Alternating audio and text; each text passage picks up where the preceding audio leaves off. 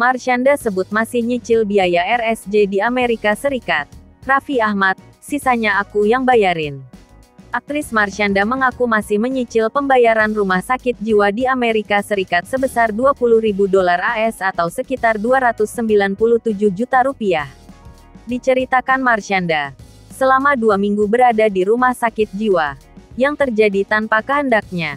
Marshanda ditagih sekitar 20 ribu dolar AS. Saat memberitahu kedua temannya tentang tagihan tersebut, respons kedua temannya justru membuat Marshanda tercengang dan hanya bisa menahan marah. Karena ulang temannya itu, diakui Marshanda sampai sekarang dia masih harus menyicil pembayaran rumah sakit jiwa.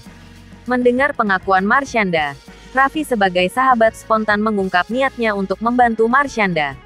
Ucapan Marshanda tak membuat Raffi mengurungkan niatnya. Raffi tetap ingin membantu Marshanda. Meskipun Marshanda tak mau mengungkap besar nominal tersisa yang belum dibayar. Keduanya juga sempat berjabat tangan untuk menyepakati hal tersebut.